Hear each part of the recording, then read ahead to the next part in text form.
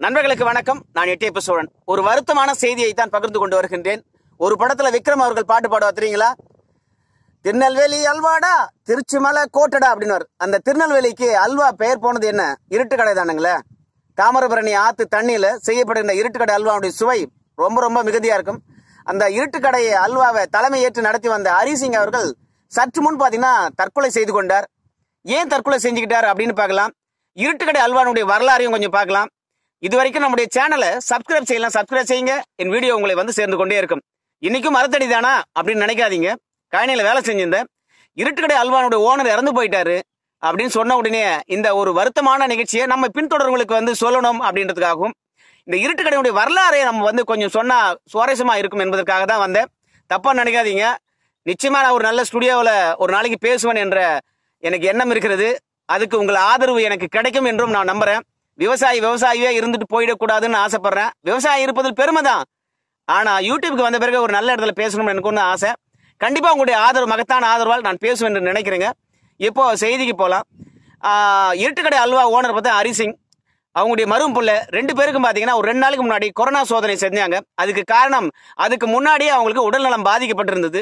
ஏன் பாதிக்கப்பட்டிருந்ததுன்னு கேட்டிங்கன்னா அல்வா போன்ற பொருட்கள் எல்லாம் வந்து அத்தியாவசிய பொருட்களாக இருந்ததுனால கொரோனா சமயத்தில் எல்லா கடையும் மூடி இருக்கும்போது கூட பார்த்தீங்கன்னா அல்வா கடை மூடாத ஒரு தருணமாக இருந்தது. அதனால் நோய் பாதித்தவங்க வந்து போன காரணத்தினால இவங்க ரெண்டு பேருக்கும் வந்து கொரோனா நோய் பாதிக்கப்பட்டது. தனியார் மருத்துவமனையில் சோதனை எடுத்தாங்க. இதில் ஹரிசிங் அவர்களுக்கும் பார்த்தீங்கன்னா கொரோனா பாதிப்பு வந்து உறுதியானது. இந்த பாதிப்பு நம்ம குடும்பத்தார் இருக்காங்க இல்லையா அவங்களுக்கும் பாதிப்படைஞ்சிடக்கூடாது என்பதற்காக தானே வந்து தற்கொலை செய்து கொண்டதாக சொல்லப்படுகிறது. பாளையங்கோட்டை மருத்துவமனையில் உடற்கூறு ஆய்வுக்காக அரிசிங்களோட உடல் வைக்கப்பட்டிருக்கிறது. அந்த உடல்கூறு ஆய்வுக்கு பிறகுதான் அதாவது போஸ்ட்மார்ட்டத்துக்கு பிறகுதான் அவர் எப்படி தற்கொலை செய்து கொண்டார் என்ற முழு விவரம் நம்மளுக்கு கிடைக்கும். இன்னைக்கு மாலைக்குள்ள கிடைக்கும்னு நினைக்கிறேன். சரி இருட்டுக்கடை அல்வானுடைய வரலாறுக்கு போலாங்க. ஆயிரத்தி தொள்ளாயிரத்தி முப்பதுல ராஜஸ்தான்ல இருந்து இங்க வந்த பிஜிலி சிங்.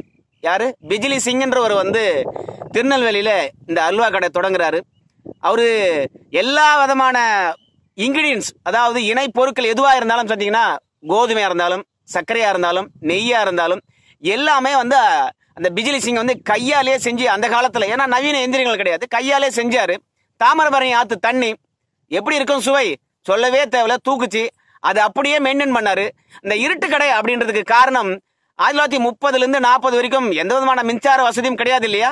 அதனால வந்து மண்ணெண்ணெய் விளக்கிலேயே கடை வச்சு நடத்துனாங்க. சுவையும் கூடி இருந்ததுனால கடை இருட்டா இருந்ததா? அதனால இருட்டு கடை அப்படின்னு வந்தது. பிஜிலி சிங் அப்புறம் பார்த்தீங்கன்னா கிருஷ்ண சிங் அப்படின்ற ஒரு எடுத்து நடத்தினாரு. கிருஷ்ண சிங்குக்கு அப்புறம் பார்த்தீங்கன்னா தான் இப்போ இந்த ஹரிசிங் அவர் வந்து எடுத்து நடத்தினார். நூறு ஆண்டு பழமையான கடை தாங்க. இப்பவும் பார்த்தீங்கன்னா ஆயிரத்தி தொள்ளாயிரத்தி முப்பதுல தொடங்கும் போது என்ன கைப்பக்குவம் செஞ்சாங்களோ இன்னைக்கு வரைக்கும் எல்லாமே கையில தான் செய்வாங்க ஒரு நாளைக்கு ரெண்டாயிரம் கிலோ அவர்கள் கிலோ வந்து அல்வா செய்யப்படுகிறது இருட்டு கடையில. இருந்தாலும் பார்த்தீங்கன்னா பொழுதுக்கு அஞ்சரைலேருந்து எட்டரைக்குள்ள இந்த ரெண்டு ரெண்டாயிரம் கிலோ பார்த்தீங்கன்னா வித்தே போயிடும்.